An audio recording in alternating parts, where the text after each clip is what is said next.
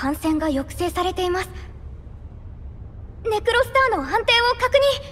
データ中数も正常に戻っています。成功です。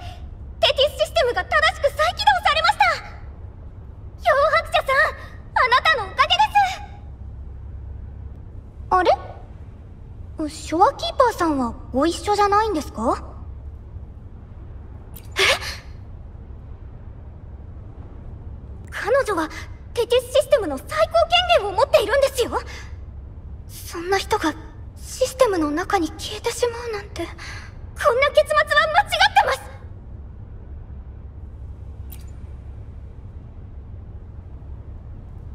どういう意味ですか？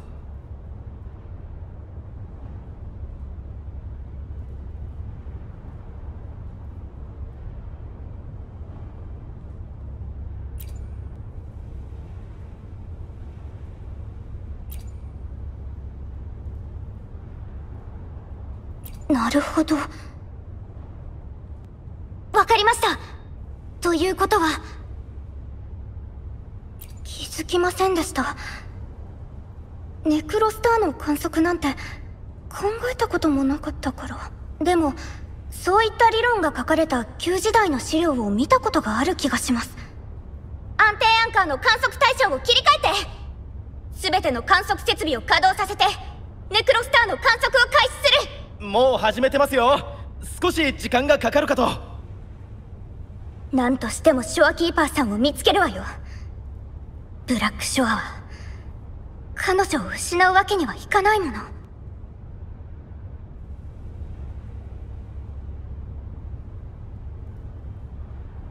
テティスシステム内にいるショアキーパーさんを見つけました。彼女だけじゃありません。ネクロスターの自称の地平線上にいる全ての人を確認しました。ネクロスターはテティスシステムの根本。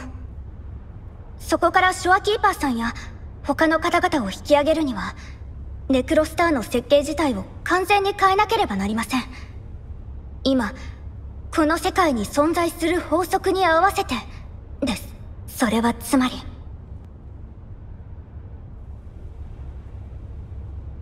本当にできるんでしょうか？こんな神に近いアルゴリズムを相手にするなんて。それにテティスシステムの演算力を一点に集中させショアキーパーさんの正確な位置を割り出すためには演算力を引きつけるための力と高い権限が必要になります。そそんな。同意できません。ショアキーパーさんを救えるかどうかも未知数なのにこれ以上人員を失う危険を冒すなんて。それに今現在ショアキーパーさん以上の権限を持つ人はいないはず。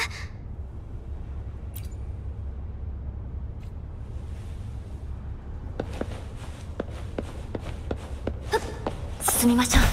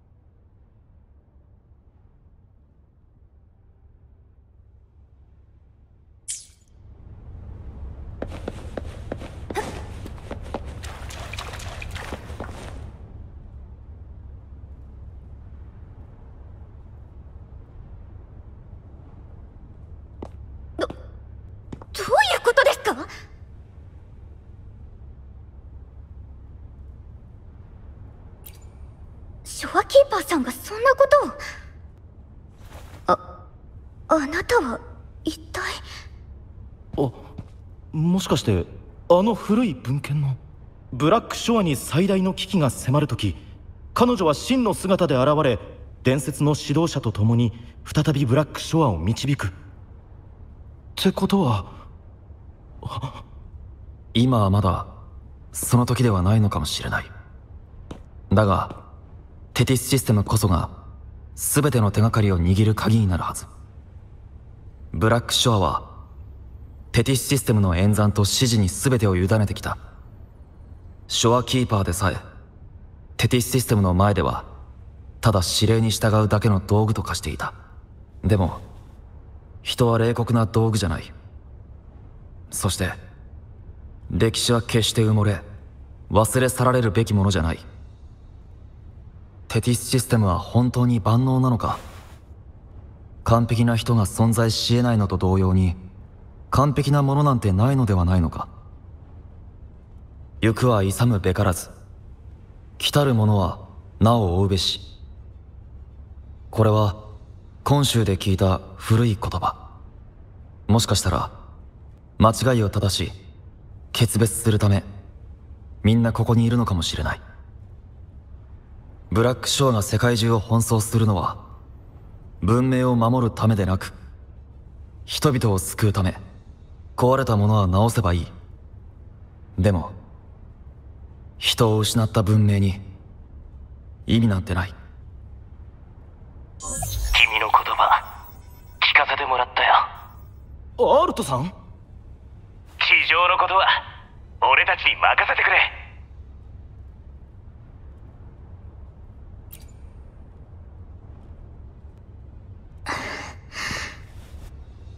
わかりました。全ナビゲーターは第1級体制に突入。テティスシステム検索レベルを最大に変更しゲート開放準備。漂白者さん。ブラックショアのそしてショアキーパーさんの運命をあなたに託します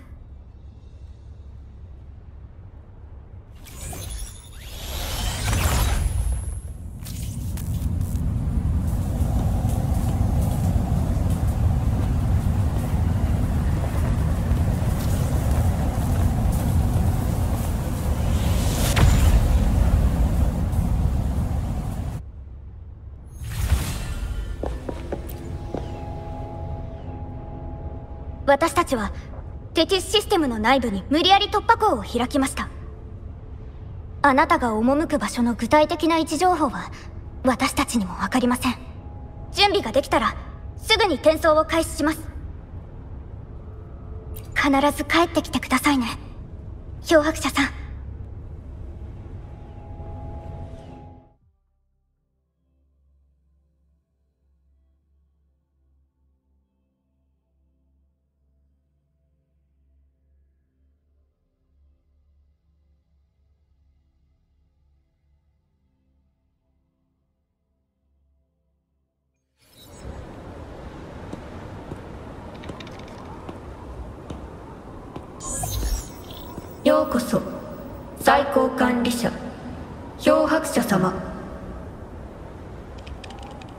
こはテティスシステムの演算スタックでデータの臨時保管にのみ使用されます。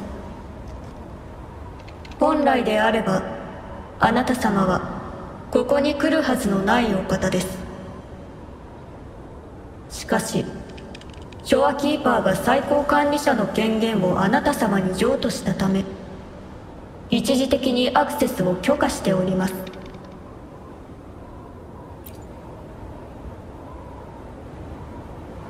あなた様は最高権限をお持ちですがシステム保守の観点からその指示の実行には反対します。ショアキーパーはすでにテティスシステムのコーディングコアとして更新されました。このコーディングコアが失われた場合テティスシステムの機能が停止するリスクがあります。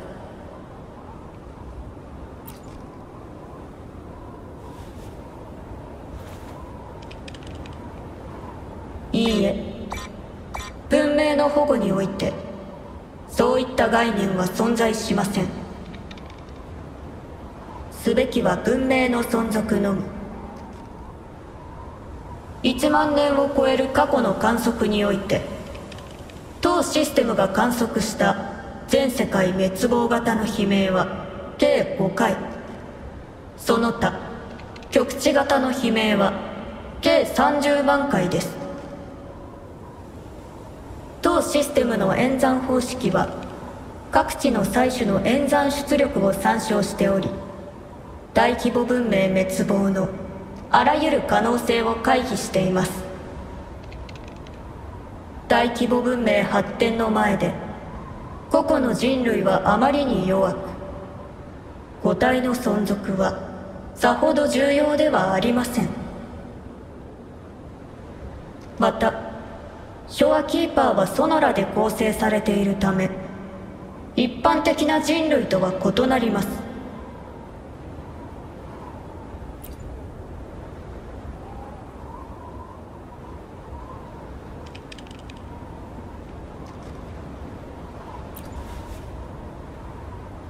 感情は存続において足かせとなります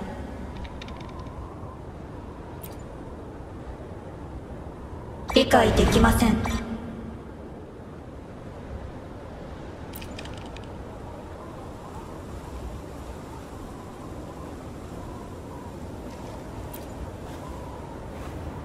再度警告します。このコーディングコアが失われた場合テキスシステムの機能が停止するリスクがあります。当システムが存在しない世界において文明は悲鳴に抗えません。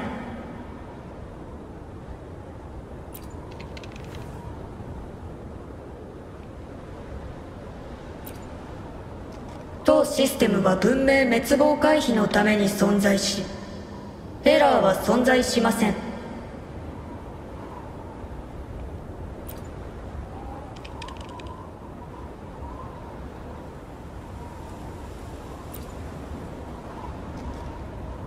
解できません。警告します。強制的にコーディングコアの排出を試みた場合当システムの防衛プログラムによりあなた様ごとこの世界は滅亡します。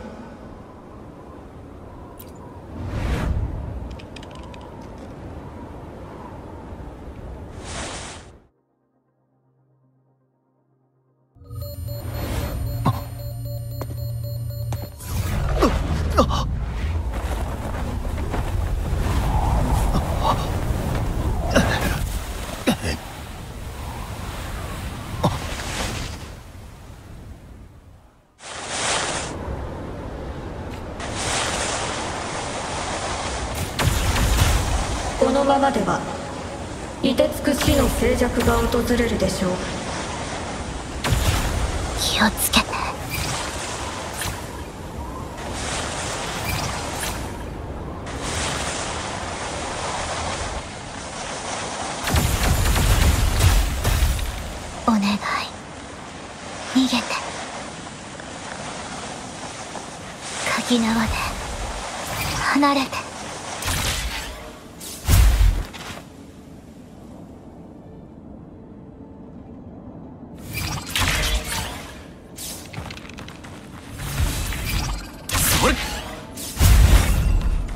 ターゲット最高管理者。お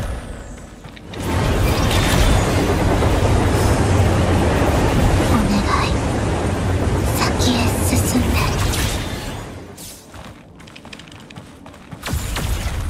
守って。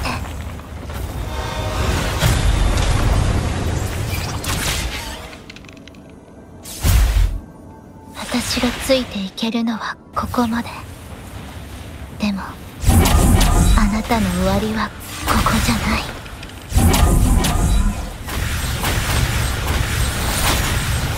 システム存続のため。最後のソノラを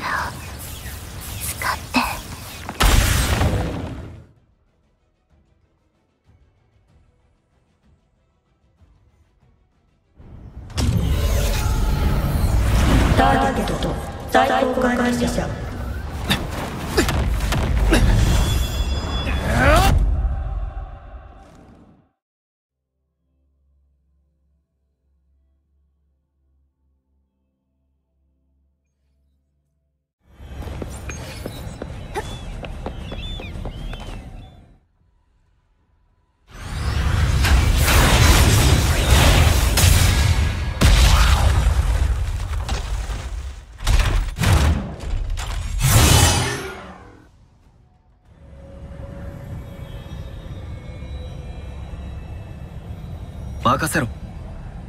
最高権限ポリシー。実行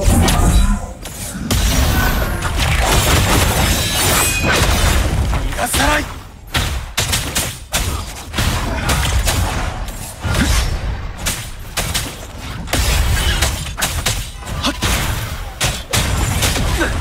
これからだ。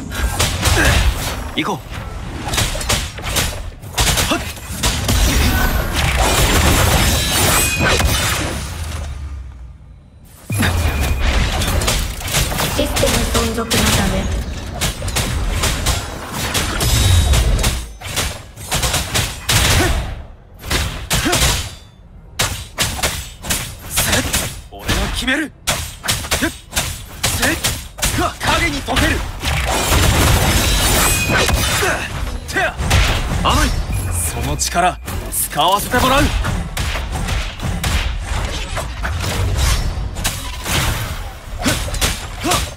幕開けだ。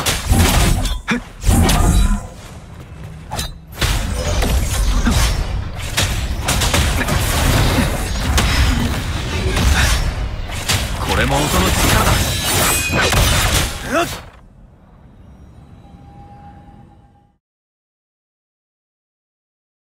放映プログラム停止。システム存続のためプログラム再起動。第3プランを起動。初期化対象ショアキーパー。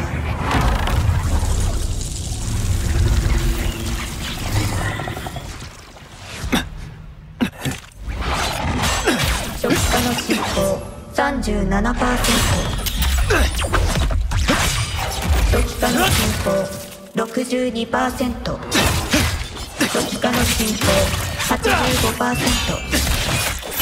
初期化完了後。ショアキーパーがコアとなります。それにより当システムは存在し続け世界は悲鳴から守られます。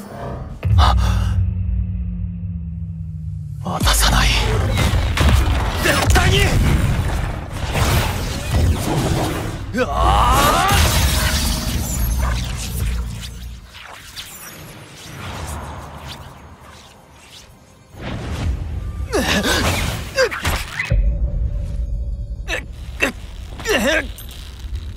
一人見捨てたりしない。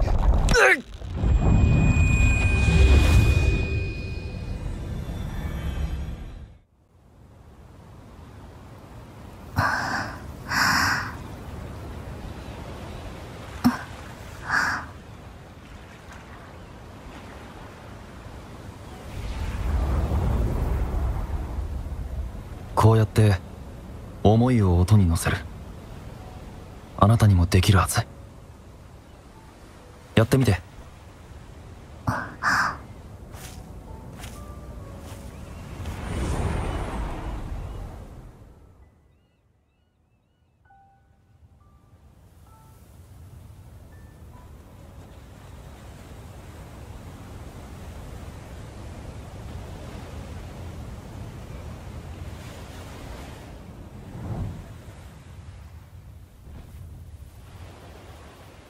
あなたがここにいるはずない。テティスの一部になってしまえばもう戻れない。悲劇は終わった。テティスシステムとブラックショーは新しい道を行く。それにあなたを嘘つきにするわけにはいかないだろう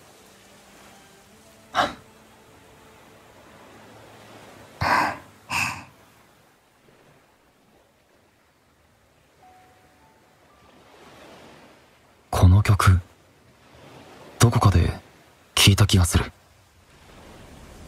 あなたが教えてくれたのそうかごめん思い出せなくて教えてあげるあの時あなたが教えてくれたように。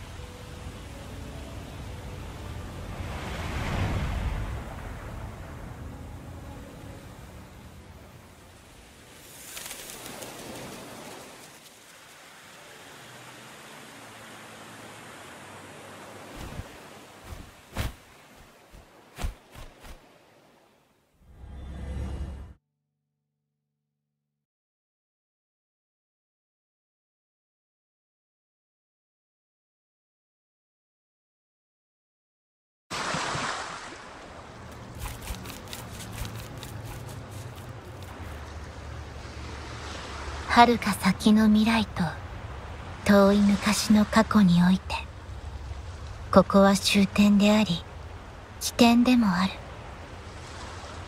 あなたはここでブラックショアを立ち上げソラリスとのつながりを作った。あの日からテティスシステムはずっと存在している。やがてあなたはシステムが悲鳴そのものをコアにしていることに気がついた。悲鳴がなければ機能しないということも。悲鳴で悲鳴を観測する。この循環はまるで終わりのないメビウスの輪。あなたはシステムを変えようとした。けれど何百何千の歳月を費やしても私たちはその方法を見つけられなかった。そしてあなたはここを去り新たな答えを探す旅に出た。唯一の解決策を知っていたはずなのに。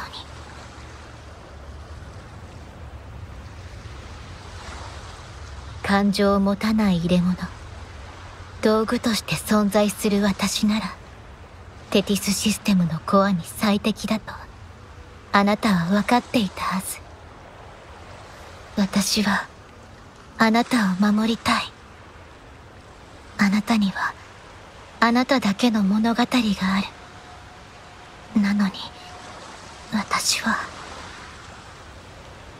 あなたと同じ空の下であなたと同じ場所を見たいとあの幸せを。また感じたいと思ってしまった。その感情に気づいた途端何をしたらいいのかわからなくなった。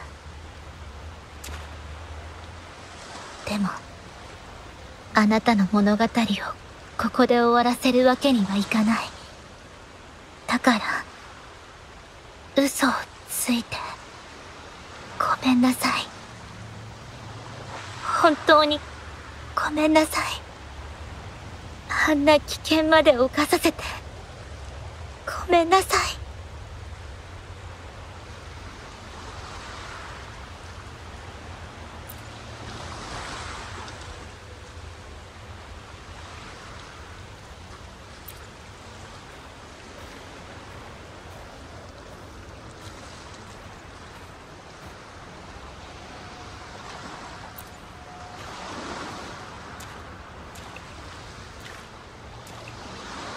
私は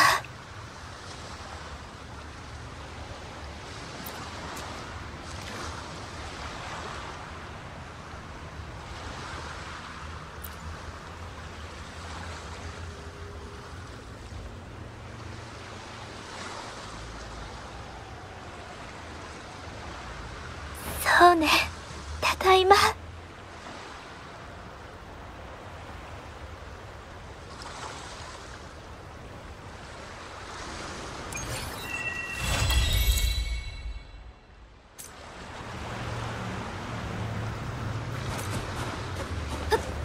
進みましょう。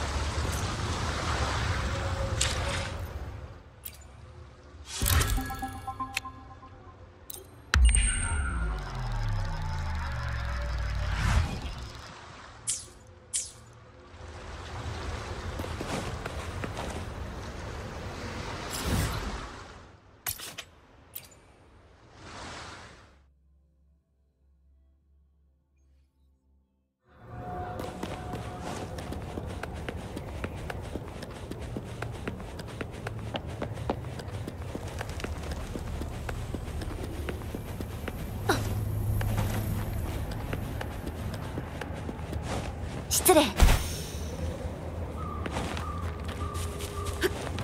ここからなら失礼。一目瞭然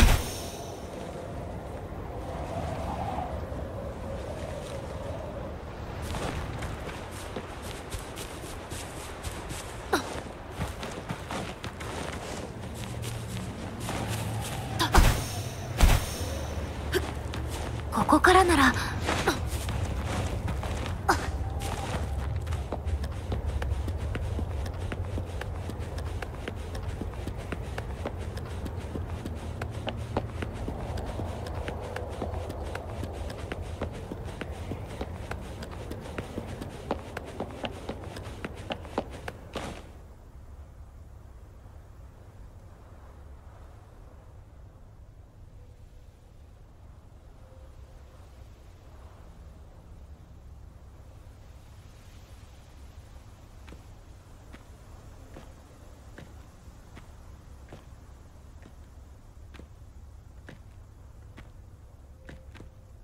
そういえばあなたの体に宿っているあの周波数。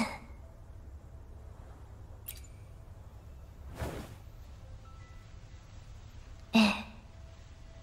あの子は上を訴えているようだけどどこか具合でも悪いんじゃないかしら。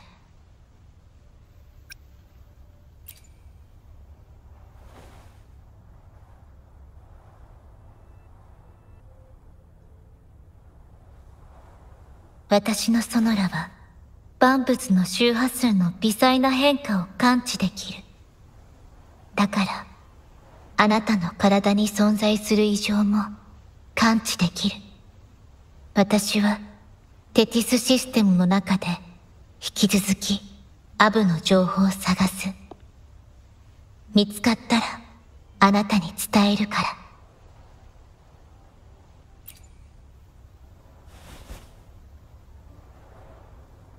あなたに修正されて、最初の頃に与えられた使命に沿って動いている。システムの根底が特殊な周波数によって補填されたみたい。周波数の特性は悲鳴に似ている。でも、それを上回るほどの平和とぬくもりを感じるの。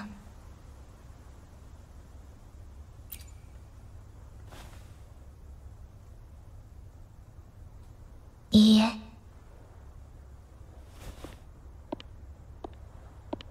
仕事は続けるけど、今の私は、あなたと同じ日差しを浴びながら、海辺の風を心地よく感じている。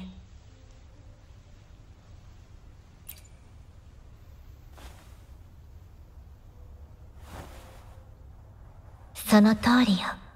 私はこれから、あなたに代わって、ブラックショアを管理する。